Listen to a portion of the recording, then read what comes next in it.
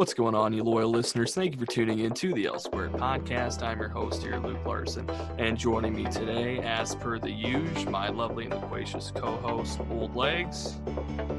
How we doing? Good to have you back. But we also have a very special, lovely, and loquacious special guest. Writer, director, producer of the new film Sugar Blasters, showing at the South Dakota Film Festival right now. Sean Skinner, thank you so much for coming on the show. That might be the first time I'm I was I, I was categorized as loquacious, but thank you. I appreciate it. Glad to be here. I think it just means talkative. We haven't really done all the research, but the important thing is that it's a big word that starts with an L. So Yes. Perfect. Perfect. Luke, the If I get enough linguist here. caffeine in me, I'll be I'll be as loquacious as you need me to be. well, perfect. So uh, we watched your film Sugar Blasters at the festival, and it's so good. It's Oh, so you. much fun. And could could you kind of bring the the listeners in and kind of give us a synopsis of what the film's about?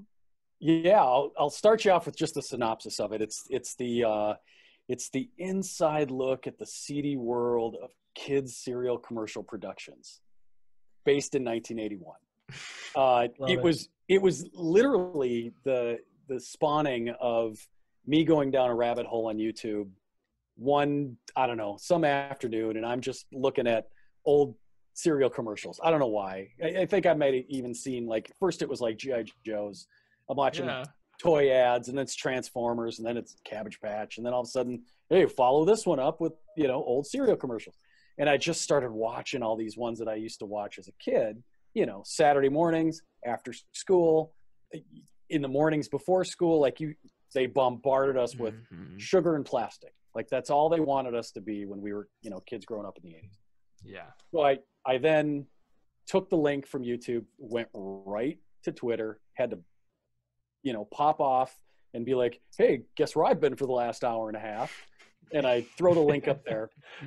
And a couple of buddies of mine just start chirping back at me and they're like, oh my God, can you imagine what that set was like? You know, this kid, what, what a diva. And, you know, you know, that mom was a terror. She was, you know, and the director was probably coked out of his head. You know, it was just all this that like we stopped and like on Twitter I could I could see it. You you can't normally see it, but we Yeah. stopped tweeting and one of us just said, We should probably take this private.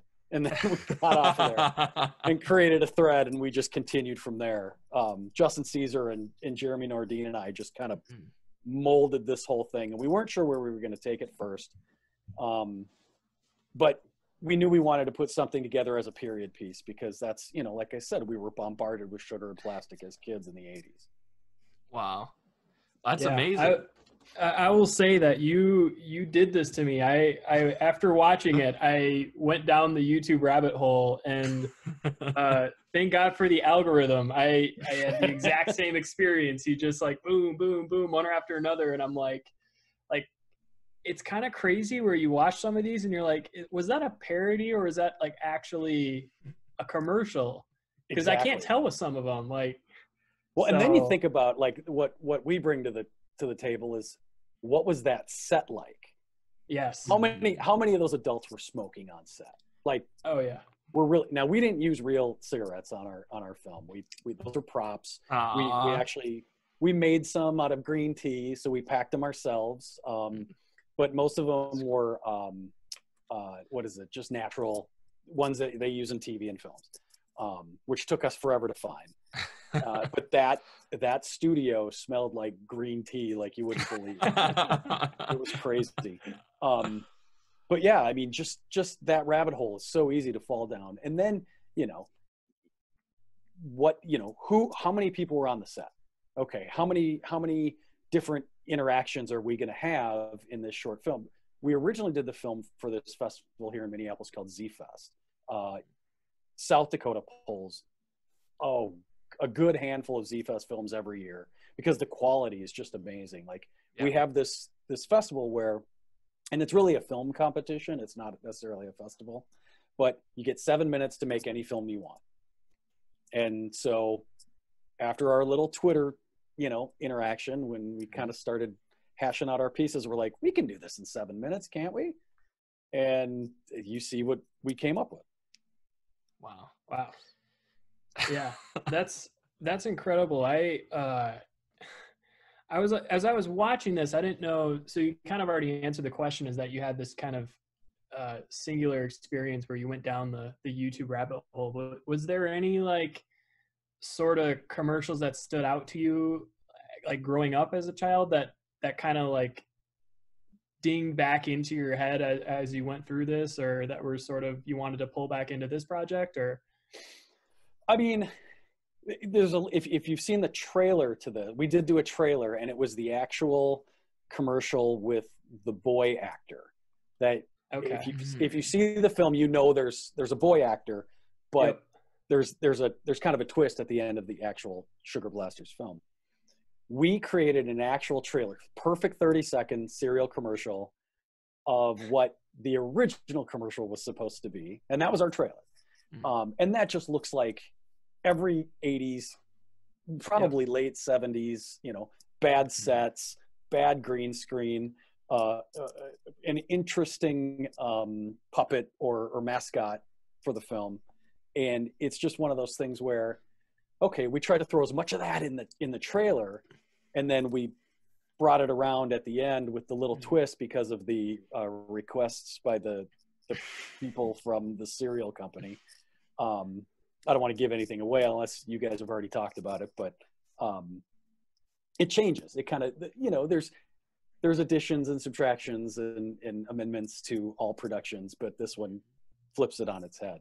And so yeah we wanted it to be as cheesy as dank as smoky as you know 70s and 80s you know kind of i don't know it was it grungy not really but it was it was it was definitely had more of a earthy Um, Molly.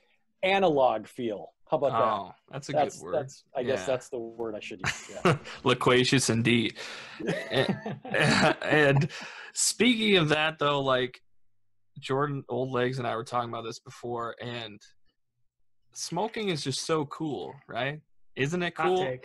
Hot take. I mean, I Yeah. saw it like you open with it pretty much, and I'm just like, God dang! Like every time I just I I fall back into this thing where you know it's like if you bought a pack of cigarettes, you could just like you could become Don Draper, like season four of Mad Men, where you're just you're just smoking and just coming up with ideas, and you're you got all like the holds down different, you know. Yeah. And I, I I appreciate that on set. They're like, oh, they you know they really we well we let them all like choose their their style right like yep everybody just kind of did it their own way um there's a couple of happy accidents in this the very first shot after the titles the title shot. Right. um you see a producer walking into frame and he lights his his lighter and you know sparks the cigarette. And you see a you see a light getting lit in the background at the exact same time. And it's just like this this cue which we didn't plan it. It just kind of happened. It was just kind of good timing. Uh, he lights that the light hits at the same time which really kind of shines on his face and then he exhales and you get this huge puff of smoke like it was just like this happy accident. We were we were super thrilled with it. I mean, did you get you guys know that this was a one take, right? I, I I didn't know. I had no idea. Oh. idea. Yeah. Wow. This okay. So this was a that was that was part of our pre-production. We were we were thinking, do we can we do this in one take with this many actors and actresses in the studio? Um, the the set made it easier for us to try it and Hmm. see if we could pull it off. Uh, but we, our backup was to pull some sort of Birdman type thing where we have Mhm. actual um, things crossing in front of the, the shot that we can do edits on. And our editor, who is also our DP, was like, "There's no way in hell we're pulling off a Birdman with this thing." yeah, you guys were like, "Oh, it's every people make a Birdman every day. It's no problem." right. It like, ah, together. 1917, like, eh, Right. we got this down by Yeah, now. yeah, yeah.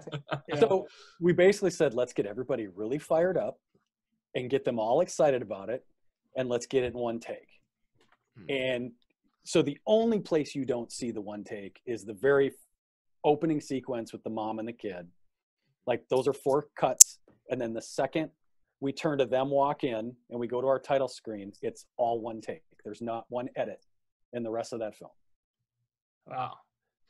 How does so how does that is that sort of do you come as far as like it's interesting that you decided to to go with like a one take style are you do you have more experience with like i don't know like even like like more show production or like stage type things or eh, i'm i'm i'm interested to like i'm i'm actually interested how that even works like on the day of the shooting. Like do you have like separate people sort of practicing this one thing and they go over and do this? Or like the the way you set that up i guess is is so, really curious for me. Yeah it's a good question. What we decided was uh, we're going to rehearse the day before and not a week before or not you know multiple sure. days before it was we rehearsed the day before so that everybody will remember their moves mm-hmm. and when we got there that day it was either going to be Birdman or one take. Like those were our choices. Yep. And when we when we saw the space and we realized the people and how much room we had to move, move with, we're like, it's one take. We're just going to walk through it. and we proceeded to walk this walk the shot, right? And we had to do it multiple times, like figure out, okay, this way, camera's going to move this way, you know, and we had to block everything out. Um, it probably took us a good i mean two hours. We're, we're, we're, dealing with like 17 actors leading and speaking and background. Um, and so with one camera it wasn't a multicam shoot. There were no tricks. It was just one continuous shot. And you know everybody had to have their lines down and they had to all be fake smoking at the same time and they all had to you know have that 70s vibe and um, you know so we walked it after we we planned it out and then we walked it with everybody and then we started putting people in their places and marking everything and i mean it was a it was a day of oh boy it was probably six or eight hours that first day of rehearsal and we you know we walked through it 30 times and once we thought we had it we let everybody rest we fed them we said let's go home let's do this tomorrow and we came back and did it 17 times and the 17th time was the was the one we kept. That was the one. yeah. Yep. So it is. It's it's a dance, if that makes sense. Like sure. it's the same steps, and once you get those repeated and you get the muscle memory and you realize, oh yeah, that's right. He's going there, and my cue is now to go here. It was just it, it at that point it felt like a stage production, sure. Um, mm-hmm. which I have zero experience with. Um, Interesting. Yeah, a few years ago I did um, I did do a short film that played South Dakota it was called Help Desk, and that was also a one take, and that was with like 19, um, 19 actors, and we were in an office, uh, indoor, controlled space, and that was a seven minute piece, um, which was also very well choreographed, and we had some amazing actors, which were also in this piece, and so they were they had a little bit of experience of how we put that together. Sure. So is that yeah. going to be like your thing now? Like I only do one take. Oh God, that's no. it. no way. no, and I mean, I, I've done two two one take short films. Um, oh man, just to imagine what that's like for a feature, hmm. it's. Whew, I I don't I I don't even have the words. Um, or or patience, I'm sure. Uh, it. I like doing them when I feel like we can can really micro it and control it, like micromanage it and control it. Um, but you can't you can't overcomplicate it, right? So this one, if you go back and watch, you realize it's about a 10 foot radius circle that that camera moves, and that's about it. Sure. And you'll be floored to think that, knowing that you've already watched it and you didn't even realize it was a one take. Hmm. Yeah. Yeah, yeah I'm really that proud makes of it. Sense. That makes sense that you, if you can confine it into this little closed system, you can kind of set the parameters more. Uh, that's really interesting. I I'm curious. Again, this this film brought back just kind of like those those memories of just flipping, even even like flipping through channels. We kind of miss that as far as even seeing ads in television. Yeah. Uh, um, I think it's really. Do you think that I mean, obviously, you guys are kind of pulled, drawn to this project. You wanted to really do this. Do you think that we miss out, or that this generation is maybe not seeing? at? Not that ads are terribly great, but um, I, I could just see like a whole generation of kids that don't even like all they know is Netflix. You know, like they, Right. you know, maybe they don't even have a cable box and they don't see They- stuff like this. they don't they don't have the luxury that we had who had jingles i missed a good jingle right like Yeah. it, it's, it's stuck in your head and Oh. it, you hear that little even a tone and all of a sudden you're like by Mennen like you or, or some people go Mhm. costanza like that that was the thought right the whole Yep. costanza thing was actually because those jingles worked Yeah. right tony the tiger they're great well Yep. right so we we threw that little catchphrase take a blast in the mouth um Um, because you know you have if you have a pitch man or a, or a character like they did in the 60s and 70s and 80s and some into the 90s um, they also had a catchphrase and they had a little song and they had a little you know a tone that you always associated with that product and you're right like kids nowadays this generation this younger generation watching netflix doesn't get any of that like you don't know the oscar Mayer wiener song you know you don't you don't know oh boy eh, i mean think about who what was uh what was another big one that that like you just couldn't get out of your head Oh, I was I was immediately thinking of like the Kool Aid Man just blasting Oh. through the wall, Right. oh, and oh, yeah uh, yeah, just, and he had a catchphrase right Yeah. right? Just Yeah. just committing crimes. but gruff the crime dog. That's not even a product. It's like a you yeah, know give a hoot don't pollute. How many licks does it take to get to the center of a tootsie pop? Like you got all those things that like they just bombarded us with as kids. And you know it was just a bunch of stuff that we were throwing off the wall and it was all sticking. It was all working. And so we were like what if we did this what if we threw in that? Okay we gotta have a puppet right? Yeah. we gotta have a crazy person running the puppet. All right is the puppet smoking? Like we just had all this stuff that we were throwing together um, and it was just working and it was just nostalgia you know? It was just that that takes you back to a more analog time. I've, s- i'm using it again but it, it- i think it, i think it fits um, and it just it, it felt a little more innocent even though they were all like horrible people you know they're all Yeah. Right. nugget away the director's doing coke off a key you know i mean there's kids on the set they're swearing Oh, like yeah. everyone's swearing the kid's a little brat I think your I think your kid he was uh he he goes on to uh he goes on to be starring in Stand by Me, right? He's like the Corey Feldman. He's got the glasses and everything. Absolutely. Like that was his next stop. That was you that know. was that the was launching pad. Fel- he launched he did lost boys Yep. Yeah. Yep. You know Yep. uh, what is it? What's the drive one? Uh oh oh what's it with the other corey? Oh i forget it. The mercedes one. Oh the girl named mercedes. Oh now i'm, I'm just kicking myself now. License to drive. There you Um, go. God man corey Yeah. So but then corey feldman goes on to be best friends with michael jackson it gets weird you know that's a whole- yeah, yep. Holy shit. Yeah. Hey, that outside your jurisdiction, you're just Yeah. here to film a, a cereal commercial, right? Yep. So, yeah yeah. and if, and if and if we scar that kid for life and he goes on to be Corey Feldman, that's more power. We to can him. blame his parents, right? Yeah. And speaking of which, that actor was my son. So there you go. Hey, Hey. it goes full circle. So you knew you're like, I, I, we need a kid who can really pull off being a little brat, who doesn't listen, doesn't. I know the perfect one. I, I know just the guy. so he starred in a few other films for Z Fest in the past. He won Best Actor a few years ago, uh, Best Child Actor.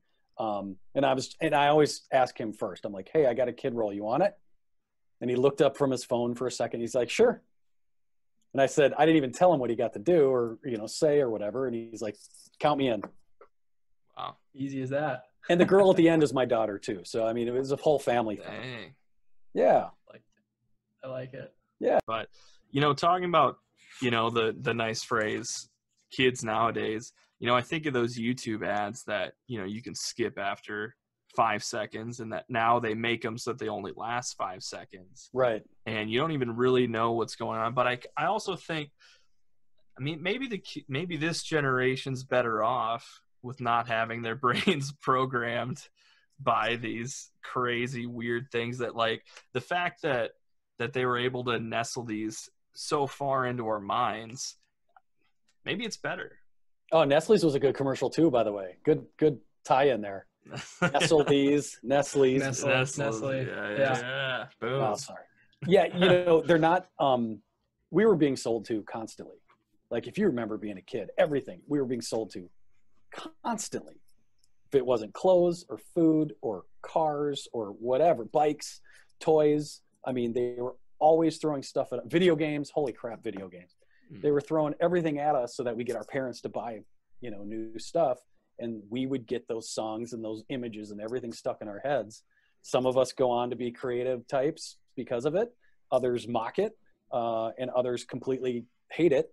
I know some people who are very much against that, capitalist stuff, but it's it's it's part of Americana, right? So it's it's a it's a form of art. It's a form of culture. Uh, yeah, they're pandering and they're they're trying to get us to spend money so that they can sell products, but um, it's different. It's so different now. You're right. It's whether or not this this generation is better off without having it. I mean, it is about choice. It is about you being able to make a decision based on something you need versus you want.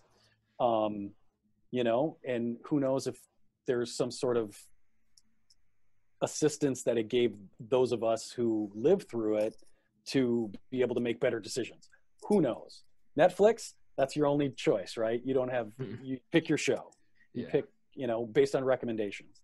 Right. Um, I don't know. I, I I'm definitely doing a deep dive on that one. I don't I don't know if it's I mean, whatever. or not.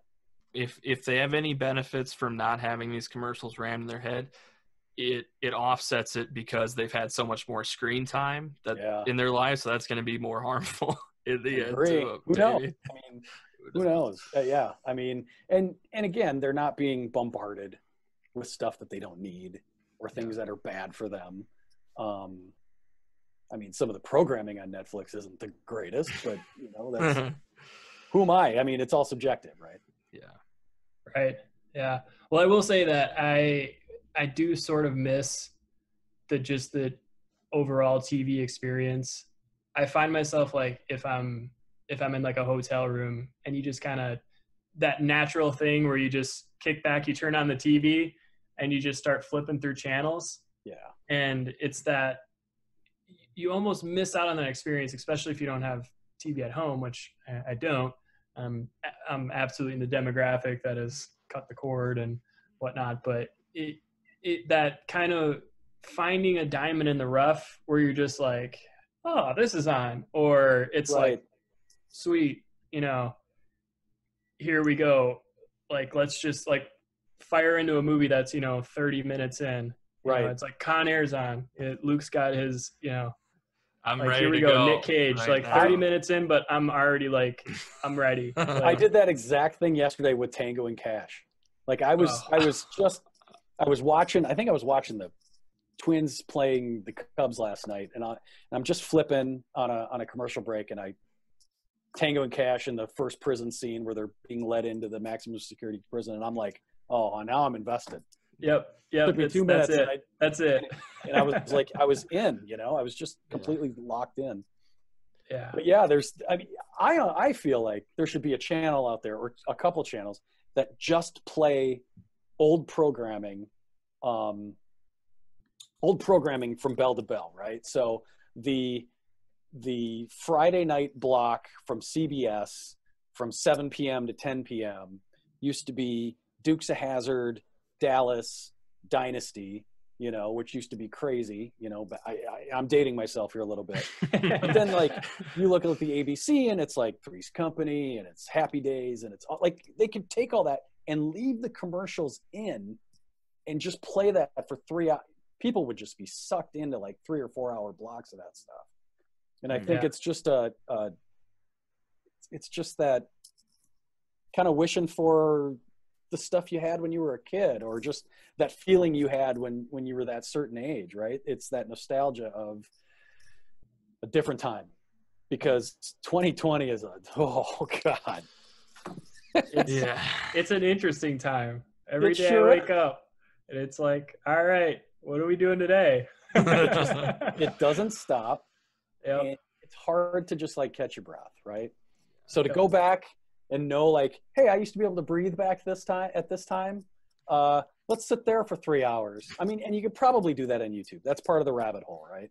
Yeah. Um, Right. But it would be cool if there was a streaming service or or somebody who could pull that off. But you know, now with however you know how those are all owned, uh, getting the rights to all that stuff might be really yeah. probably a problem. You just uh, create Boomerang? The, the Yeah. network? Right? Man, Am I used- missing something? Is it, does this exist? Well, there is a network called Boomerang that plays. It plays like old cartoons and stuff from. Really? si- but I love when Does I Does it had. play the commercials? no, it doesn't. It doesn't play the actual commercials. That's yeah. how we get them. Right. Right? Yeah. See, we're different. Suck All a right. lot of people in. Yeah. If you could direct a commercial for one thing, it could be a product from your youth. What would you pick? Oh wow, that's a great question. Um, oh boy, if I could direct one of the commercials for for one of Mhm. those, probably a live action. uh, And and Jordan mentioned this earlier, a live action Kool Aid commercial, Mm. not not animated. No, I want I want that Yep. dude going through a brick wall, Yeah, right? I like it. like a like a bad Family Guy episode, but like right there, live action. Um, you know, there's there's so many great products, or well, Mhm. I thought they were great, but you, you know, there's oh boy, I where to start? Like GI Joe and Transformers had Oh, interesting yeah. commercials. Um, I always wanted to recreate whatever they were doing. If you actually got the toy, I always for like one of the first times I played with it, I just wanted to like get my setup and just do it at least one time the way that I saw it in the commercial. And Right. just be like, all right, I just got to know that I'm doing this, and then now, like, okay, now I can do whatever else I was doing. my parents are still under the impression that I'm waiting for Christmas morning to get the USS Flagg uh, aircraft carrier from GI Joe, like Yes. seven and a half foot long aircraft carrier. Still Yes. waiting.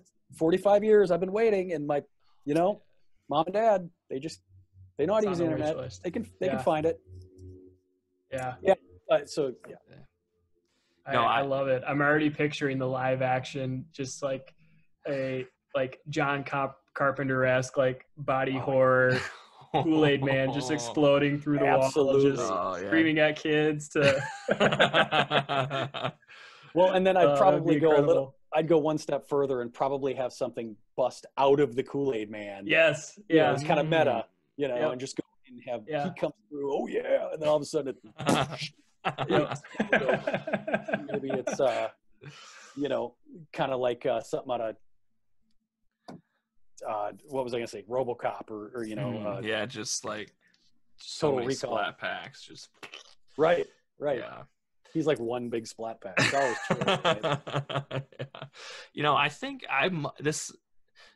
I feel like I would want to do a Lucky Charms commercial because, like, he just. It seems like they always. He's a little bit mischievous, but he's not evil. And this podcast, we did our infamous Leprechaun episode where we did a two and a half hour episode going over each of the Leprechaun movies in the film franchise. so I feel like there's a tie in there that, you know, one of the worst episode, one of the worst podcast episodes ever made. But we do have the Two and a title of hours out of all those Leprechaun movies. uh, completionist. yeah, I mean, So- who, how many other people in the world can say that they've seen all eight movies, let alone I in truly one feel like an authority on the issue, and I can't remember more than three or four things about any of the films. I didn't realize there were eight of them. That's what we said. So, Yeah. Wow. Yeah, we were like, let's do for it was for St. Patrick's Day. We're like, let's do one where we'll talk about the Leprechaun movies. There's got to be like four max, right? And it was like, oh, there's another one. Eight. Oh, another one. And Eight of them. making them. Somebody kept greenlighting those movies. I mean, I, uh-huh. Yeah. how? Well, that means I'll. There's hope for me then to get a feature made. Yeah. If that's the case. Yep. Well, we're we're excited to see that. So where can where can the people find you to to see when you finally get your Leprechaun Nine movie green? Yep. Oh yeah, Leprechaun Nine. Let's start it up. Uh, Red23films.com is where you can find me and information about projects we've got working on. Uh, we're working on uh, in the middle of two documentaries right now that I'm trying to finish up. Um, one on a former movie theater, movie house that was really a beautiful, large uh, facility that uh, local town kind of let run down, and then a big owner from out of state came in and just let it sit there for 20 years. And there was this huge fight where the city tried to save it, and they they couldn't get it done. And now there's a Hy-Vee grocery store in its place, and a lot of people are missing. Yeah, I know it's sad. Um, and then another one we're doing is, um, which I'm really excited about. Uh, you know, being from Minnesota, Bob Dylan's a big thing around here Mm-hmm. and we are doing a doc on uh, in in early 70s he created uh, this album called blood on the tracks and he started the record in new york city and he didn't like how it was turning out. So he called his brother back here in minneapolis and he said get me a studio get me some guys i want to redo this. And they re-recorded it in two days and those guys are all the musicians on the album but he had a deal already with the record company and all the all the LP jackets and record jackets and were already printed out with the New York musicians on it and it stayed that way for 40 years.